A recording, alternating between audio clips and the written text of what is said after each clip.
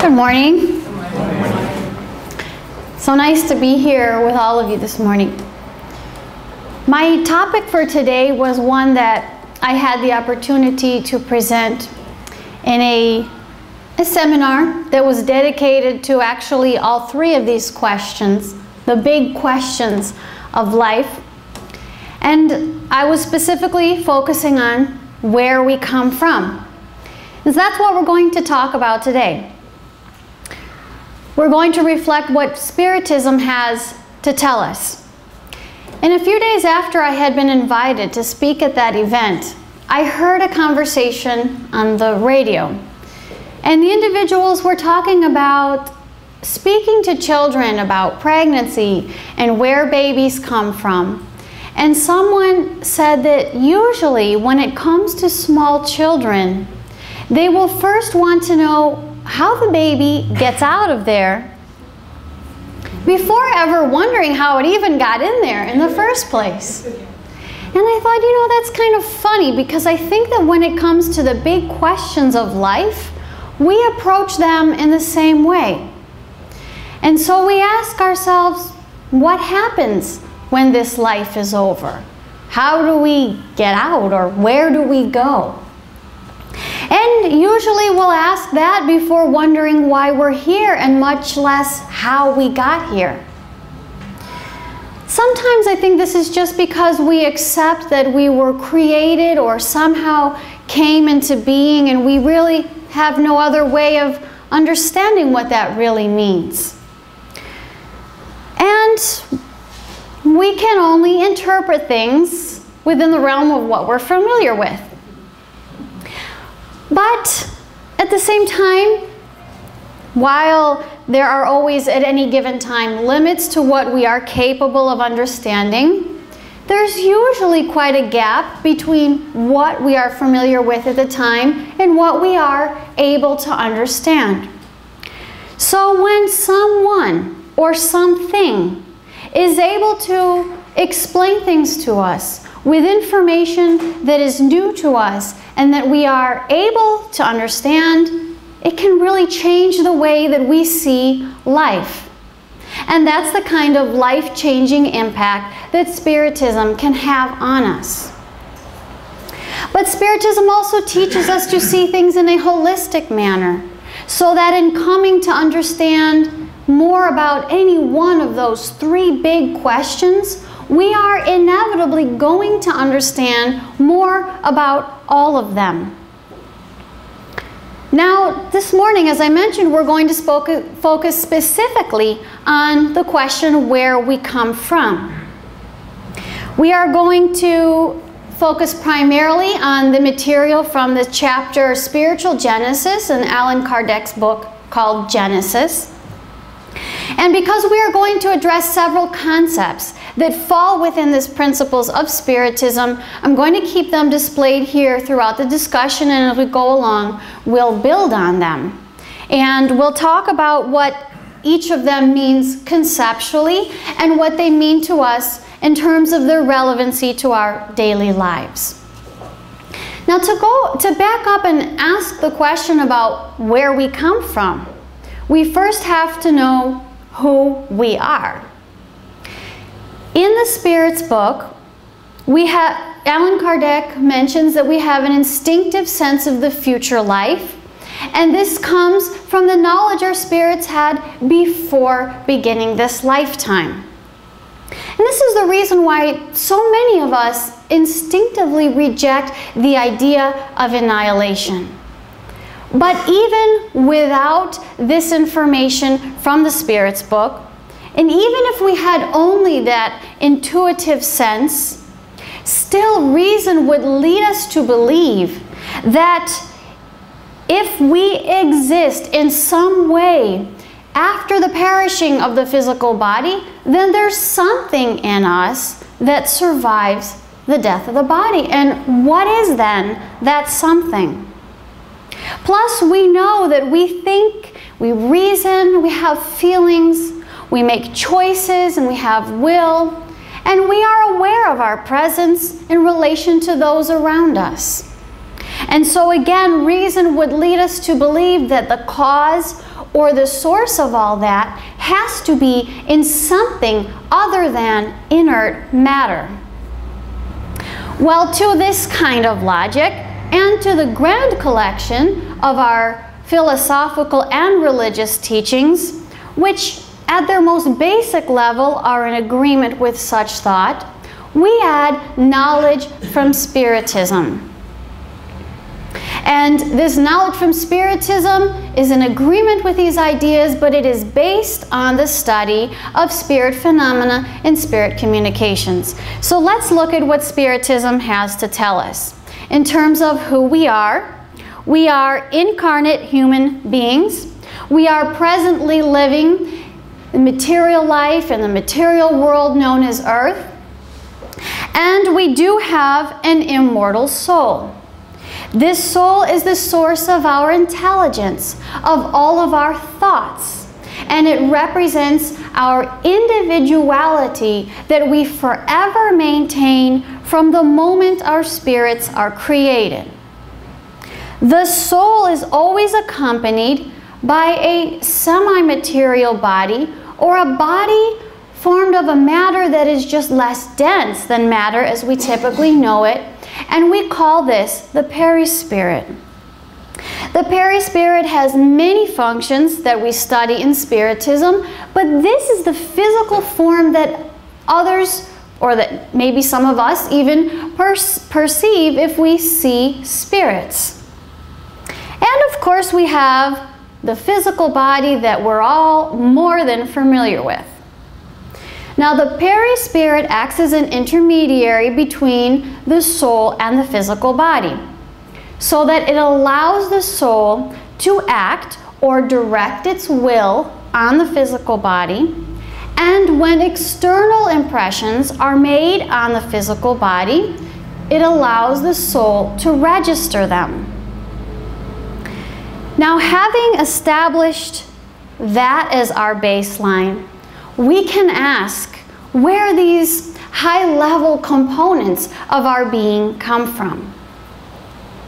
Well, Spiritism teaches us that there are two basic elements in the universe from which everything is derived by the action of natural laws that operate under God's will. And one of those elements is spirit. Spirit represents the intelligent element in creation. And our human souls are what has become, in a way, an individualization of the spiritual principle. And so this is kind of a way to say where our souls come from.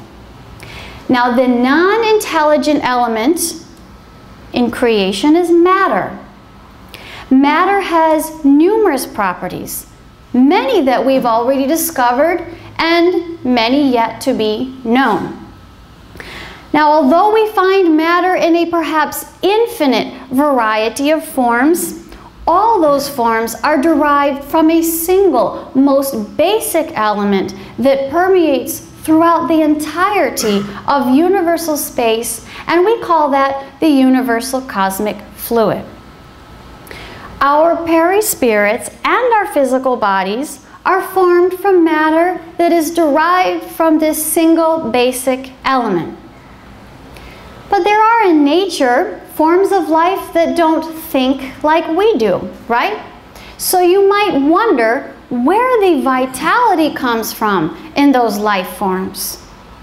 Well, this vitality, similar to an energy circuit that runs through a battery, is something that in Spiritism we call the vital principle, which in itself is also a modified form of the universal cosmic fluid, or that basic form of matter. The vital principle is inherent to organic life, while the spiritual principle is inherent to intelligent life.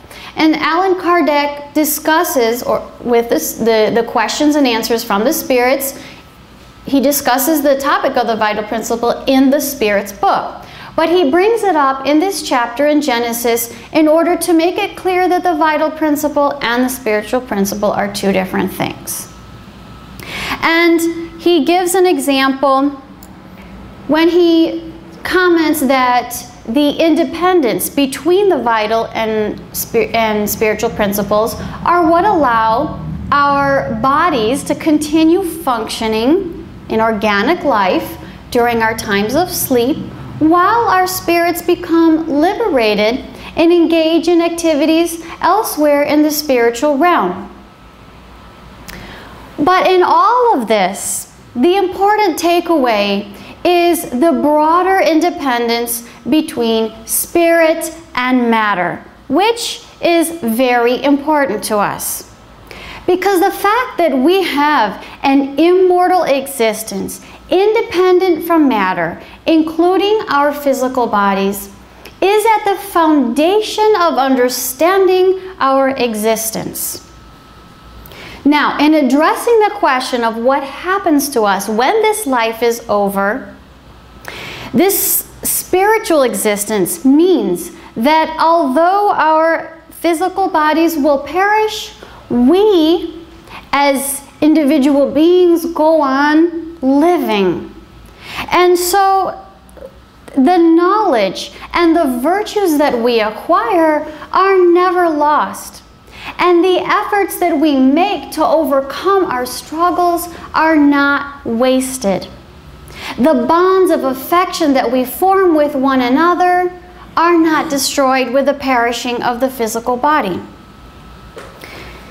Although we may sense this continuity of life intuitively, as I mentioned before, and although we find teachings about the soul's survival in our many philosophies and religions, we can still, with them, fall into doubt.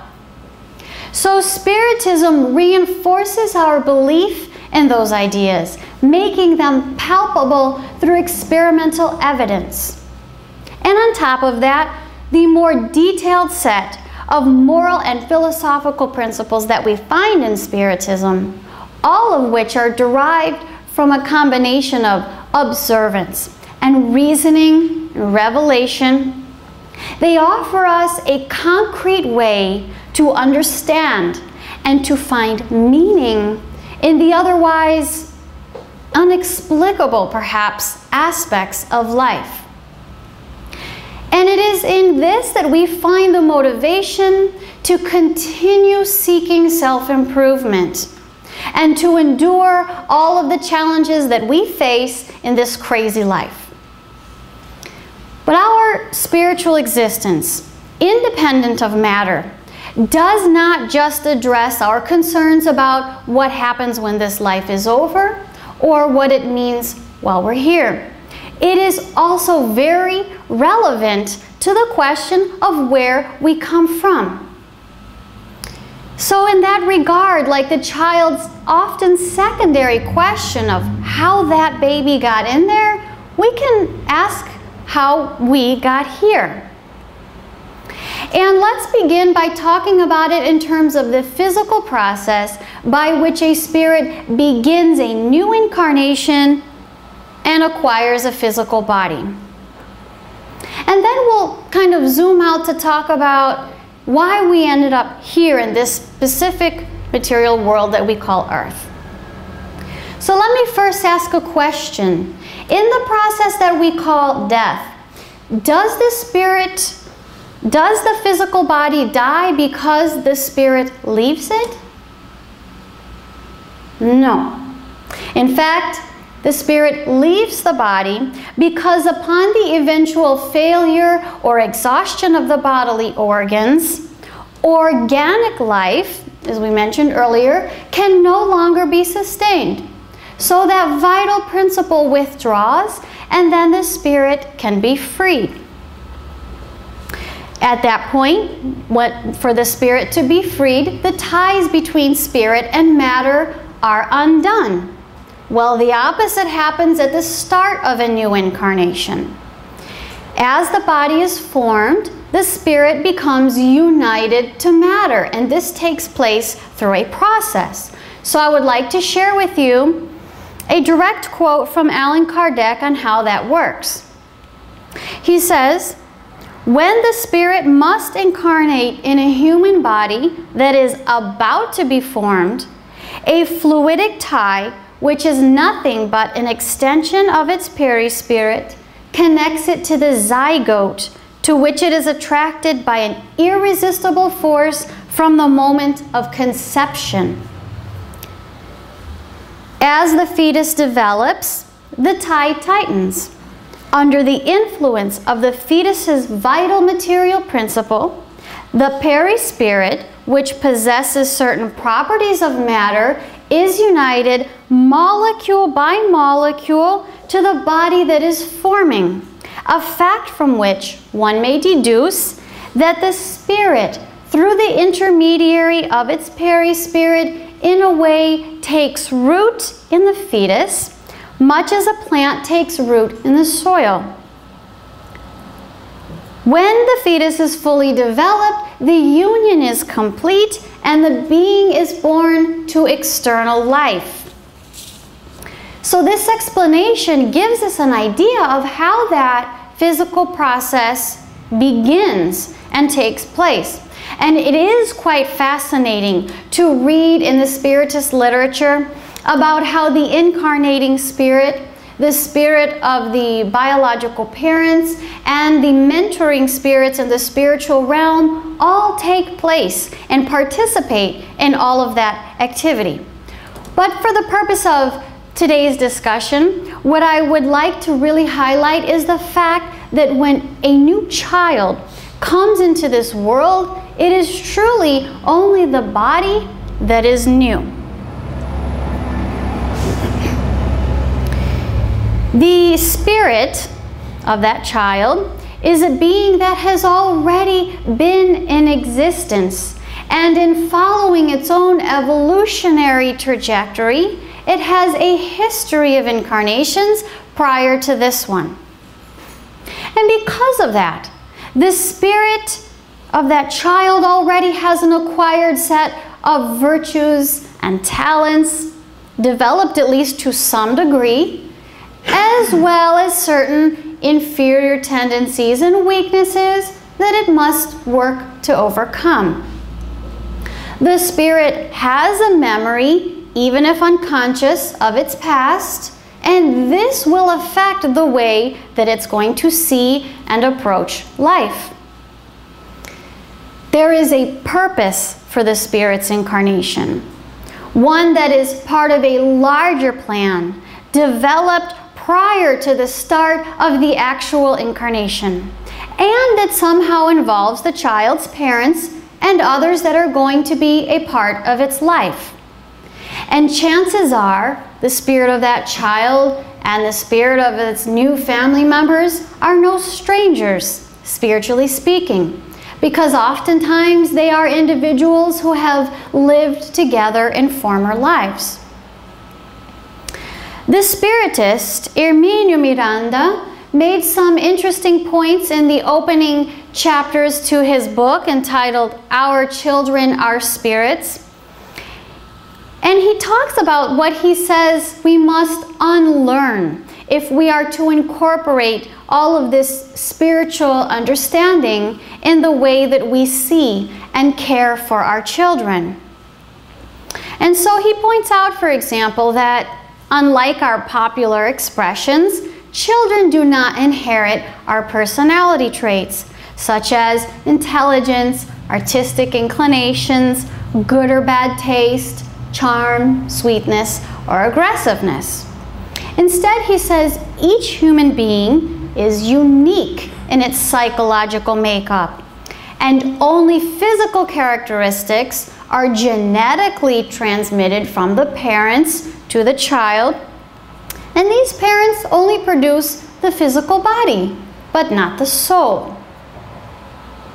Similarly, he says, as parents and caregivers, we must understand that a baby has an adult intelligence and a mature spirit trapped in a way in a small, immature physical body that does not allow it to express itself fully.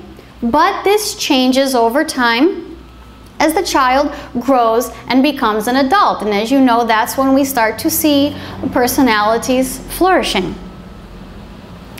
In later chapters of the book, Herminio shares some details and stories that reveal an amazing awareness that the spirit of a small baby has about what is going on in its surroundings, and it is so much more than we would ever imagine.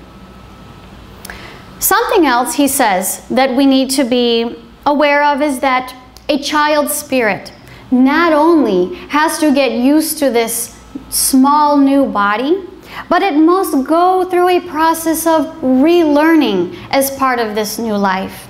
And so it must learn the language and customs of its new people, it must master new manual skills, and it has to adapt overall to the environment and relationships that are a part of this new life.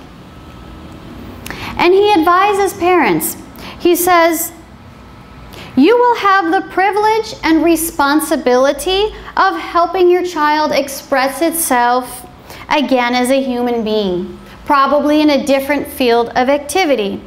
In fact, he says you will always have a great responsibility towards your children, whether they are girls or boys, intellectually gifted or challenged with a learning disability, easygoing or aggressive, healthy or sickly calm, or rebellious.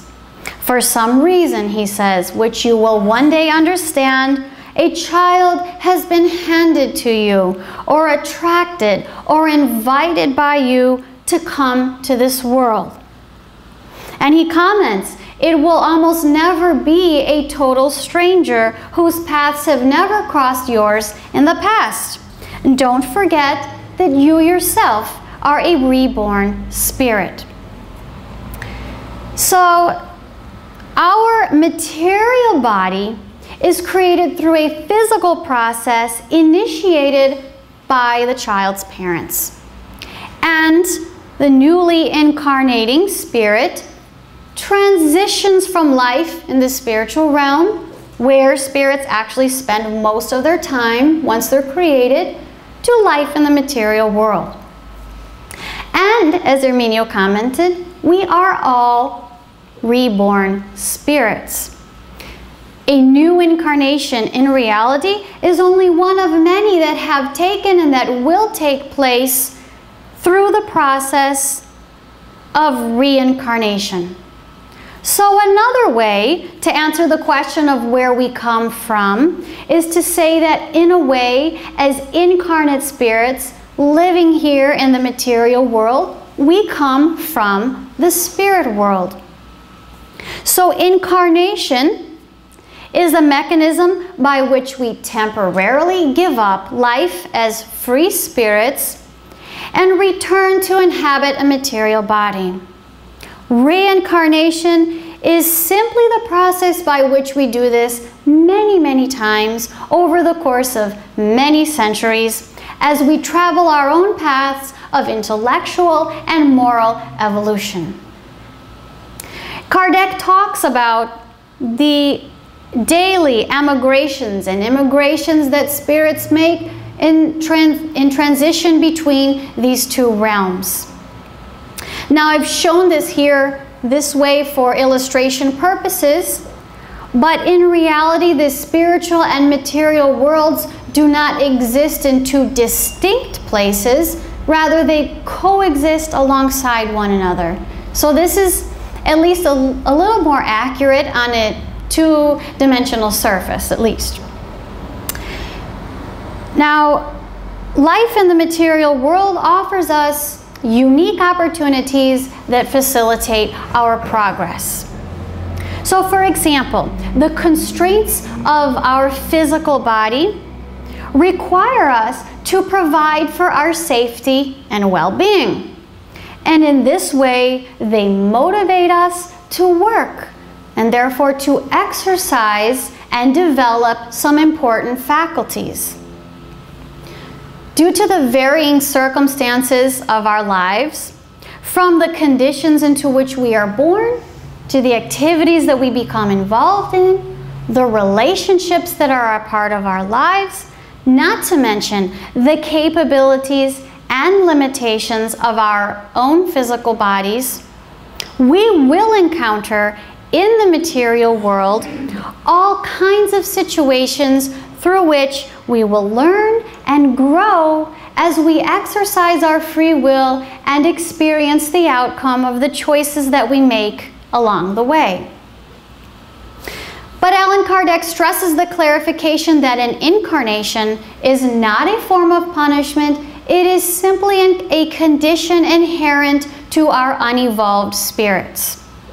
And the good news is that, in Kardec's words, as the spirit progresses, it as the spirit progresses morally, it dematerializes. That is, by freeing itself from the influence of matter, it purifies itself. Its life becomes more spiritualized and its abilities and perceptions broaden. And subsequently, then, happiness is a result of the progress that any spirit has achieved for itself.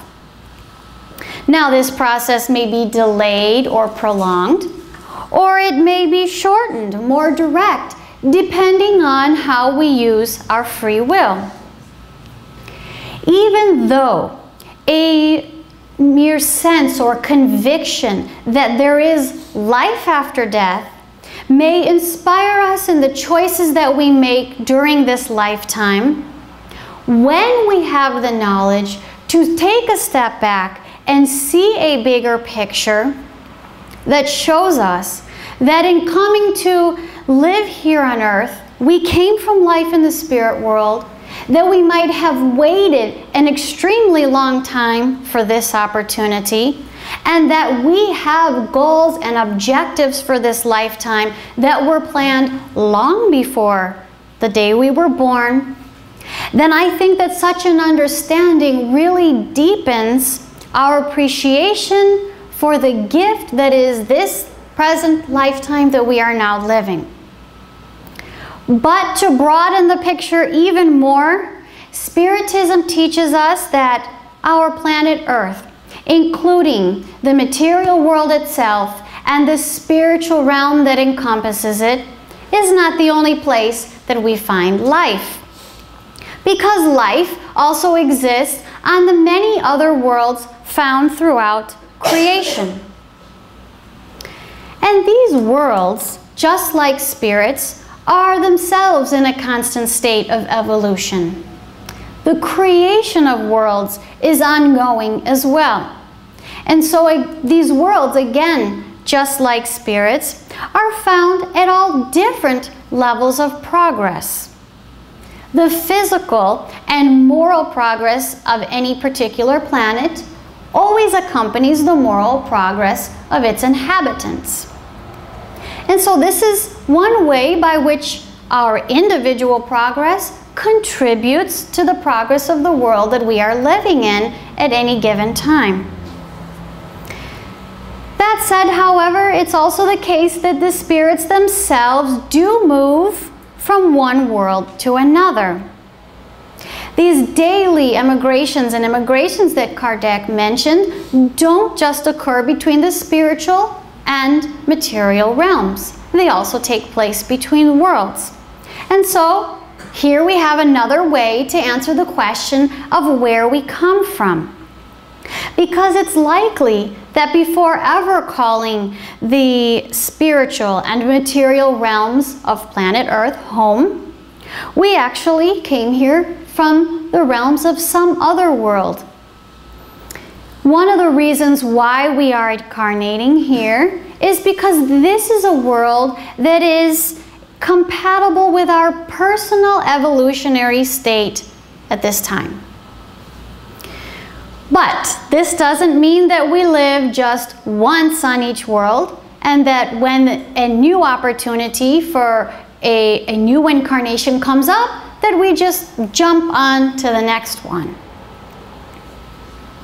As Kardec says, if we look around here on earth, we will easily observe a broad spectrum of traits that characterize spirits at all different levels of progress. And this illustrates how just one planet like ours offers a vast field for our own progress. Just the contact alone between spirits more and less advanced offers or facil facilitates a great variety of learning opportunities. We can find examples and inspiration in those who are more developed than ourselves, just as we are able to live alongside of and hopefully help or serve in some way those less advanced and even those who we may have hurt in some way in the past. By returning multiple times to the same world, we also avoid the disruption of constant changes between vastly different environments. And we have the chance to finish or continue working on what we might have left unfinished in the past.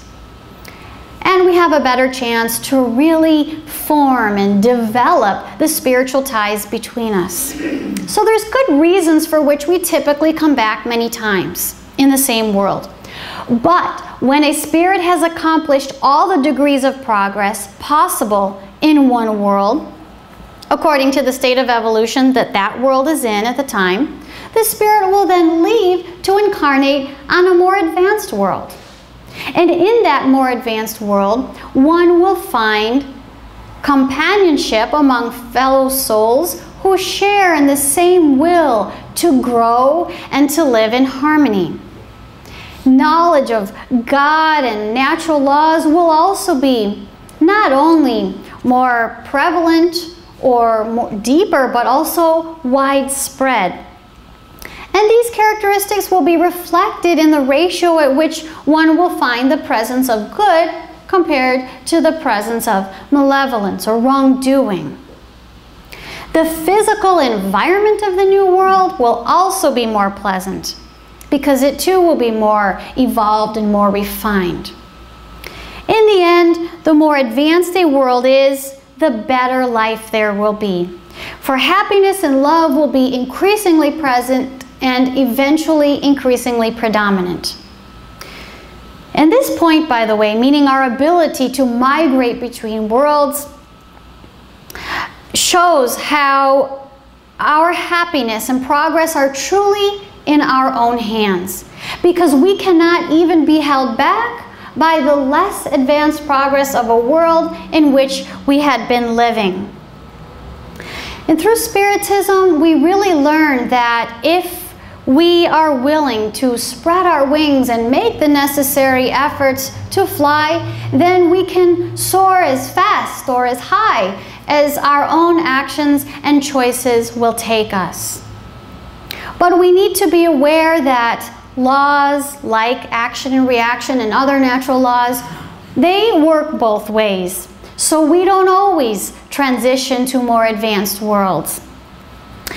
Sometimes we move in the opposite direction because if in our own rate of progress we do not keep up with the progress of the world in which we have been incarnating, or in other words, if we insist in exhibiting certain behaviors or persisting in a particular way of thinking that is not on par with the ethical development of our general spiritual community, then the time will come when we will no longer be able to incarnate on that world or any other world at the same level, at least until we have acquired the merit to do so. Instead, we will incarnate on less advanced worlds, a transition that becomes for the spirit a form of self-imposed suffering. Because life on the less advanced world is going to be less pleasant it will be much less comfortable, more physically demanding. The material environment will be denser. In the Spiritist body of knowledge, we find our answers. And as a result, our new understanding strengthens and energizes our faith. It gives us a renewed hope and purpose. And we find the inspiration to really make the best of this life with an understanding of our past and an eye on the future. I thank you all so much for your attention this morning. And I would like to open at this time for any questions and answers. If anyone has any comments.